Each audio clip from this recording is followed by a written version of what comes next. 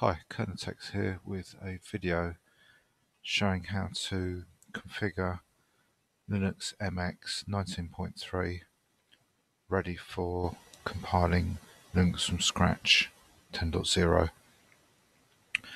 So although given specific versions for the host and Linux from scratch, um, the method I'm going to show here um, should work for just about any version. Um, even if the packages which I show I'm going to install uh, already installed or other packages then um, it should be easy to adapt this method.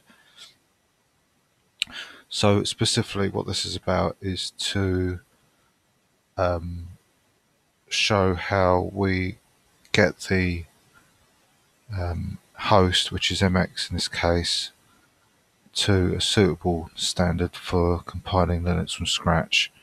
And this is laid out in chapter 2.2 of the Linux from Scratch book.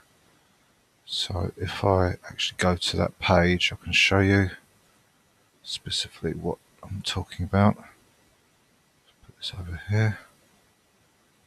Read online, stable. So it's this chapter here, 2.2, host system requirements, where it lists all the packages that a host system must have and the minimum versions and there's a script here which you can copy and paste into the terminal which runs the checks and produces a report. So if I get a terminal up, and I'll just make the font a little bit bigger, and become root. Oops.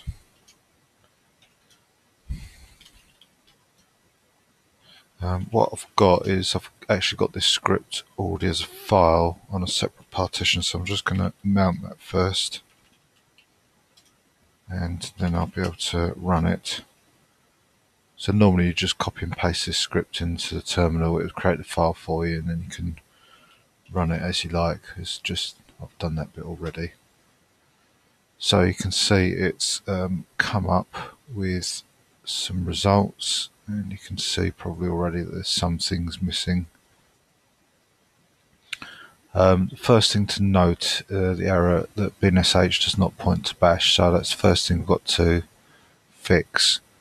And the best way to do this, although there's several ways of changing the shell, uh, the best way to do this is to use the ln command, the link command, um, with svf, which is for a symlink or a soft link V is for verbose so we can see what it's doing and F is to force the change.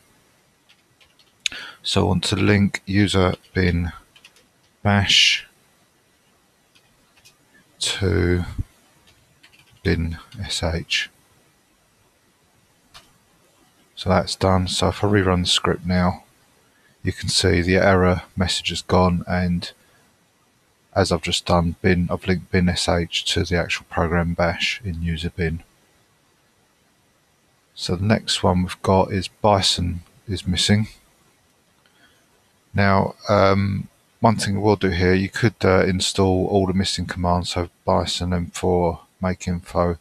It may be best sometimes just to install individual packages because sometimes Bison might bring in M4 or make info. So um, it might just be a little bit easier to understand what's going on. So to install that from the command line, you may find, you, well, you could do this from the graphical window. I'm sure you can. I don't know MX very well, but I'm sure you can do. But Linux from scratch is all about typing commands on the command prompt, so it's a good, good bit of practice to do uh, this installation on the command prompt. Um, so you can actually see there it says that it's going to pull in M4 anyway. So after we've run this install bison, this um, command not found for M4 should also disappear because it's been pulled in as well.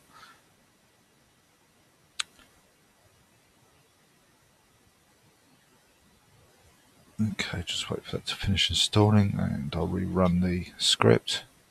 And you can see, as I said, the M4 has been pulled in, so it doesn't need to be installed separately now. So the only one we've got left now is MakeInfo. Um, now MakeInfo is actually a program, so if you try to install that, it probably wouldn't work because Make info is part of another package called Texinfo and because we deal with packages when we're installing um, software it's the package name that we need to know which as I say is Texinfo so we'll just install that and it will put in the program make info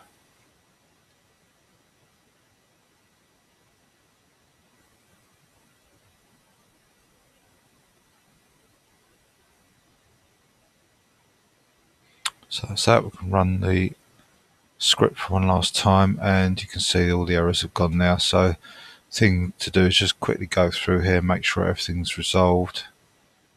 Yeah, it looks like it is. And the next thing you do now is to um, compare the versions that are on that screen there and compare them with the versions in the book. Just make sure they're newer. I'm sure there will be if there's um, host is the latest version and it's kept up to date, then they, they should be newer and compatible therefore.